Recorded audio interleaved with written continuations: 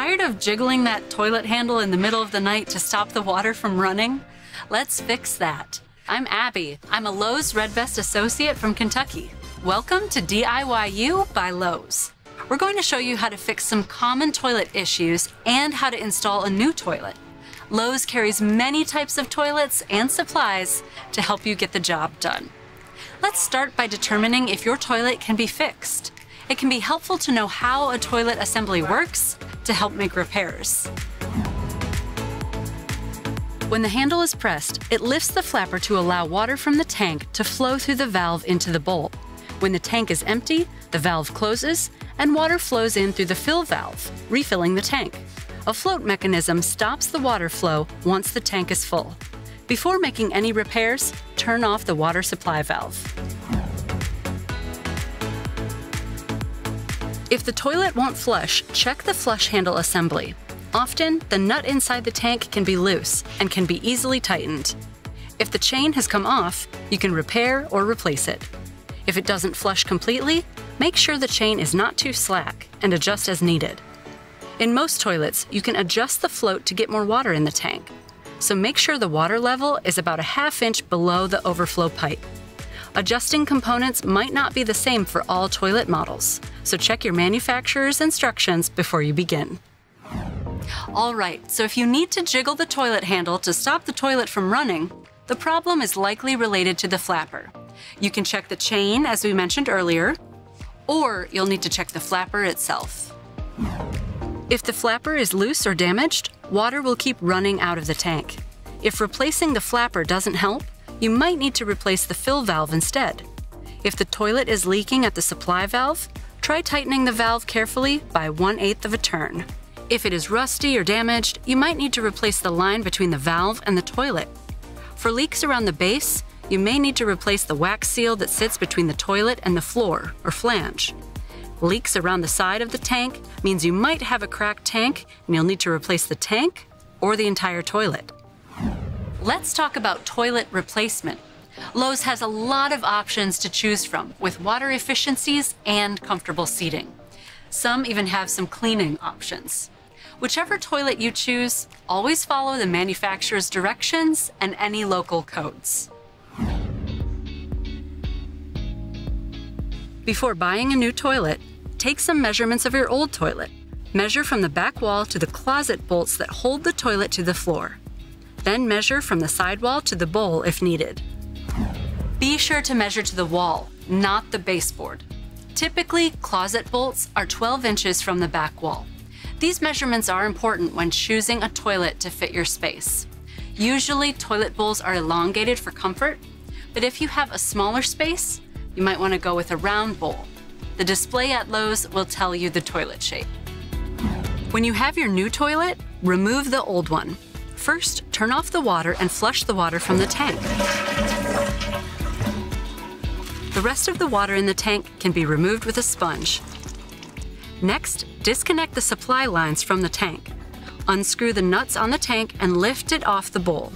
Wear gloves in case it cracks. For the water in the bowl, use a water solidifier to keep the water from sloshing out of the bowl. You could also use a sponge to get the water out. Loosen and remove the nuts holding the toilet bowl to the floor. Lift the bowl and set it out of the way on a garbage bag. Some communities will take the old toilet with the regular trash pickup. Contact your local recycling or disposal service to confirm. With the old toilet removed, take out the old wax ring. Stuff a rag in the drain hole to keep out sewer gases and prevent anything from falling down the drain. Use a putty knife or shim to remove any excess wax. Also remove the old closet bolts. If your flange is broken, Lowe's carries repair kits and parts to fix it. Let's look at flange height. Ideally, it will sit about a quarter of an inch on top of the flooring. But if it's on the subfloor, that's okay. But say you're installing new flooring, which can make the flange sit low. You can fix that with spacers. This kit includes gaskets and spacers. Follow the directions for installation. Typically, you'll need to apply silicone sealant between the spacer and existing flange, but follow the directions for cure time. Another option is a taller wax ring. One note, do not stack multiple wax rings. They won't seal correctly. Next, check this option out. A wax-free ring.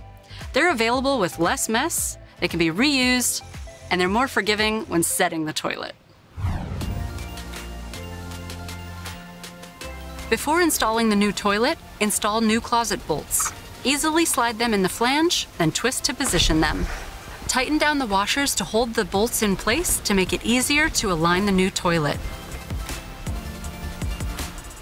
Set the new toilet bowl upside down on a towel to install the wax ring. It helps to run the wax ring underneath warm water to soften it up.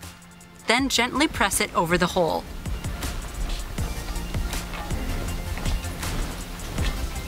With the wax ring set, remove the rag from the drain. Flip over the toilet and carefully lower it over the new closet bolts. Try to keep it level while lowering to apply even pressure on the wax ring. Toilets are heavy, so you might need help setting it in place. Firmly press it down and make sure it's square with the wall. To secure the toilet, add the cap bases, washers, and the nuts to the closet bolts. Alternate tightening them to keep the pressure even. Use a mini hacksaw to cut off the excess. Then pop on the caps. It's a good idea to check the bowl for level. You might have to use toilet shims. If so, first loosen the nuts on the closet bolts just a little bit. Score the shims a few times. I like to remove it and cut it on a scrap board so I don't damage the flooring. Then slide the cut shim back under the base. And tighten the nut on the closet bolt. Then add the cap.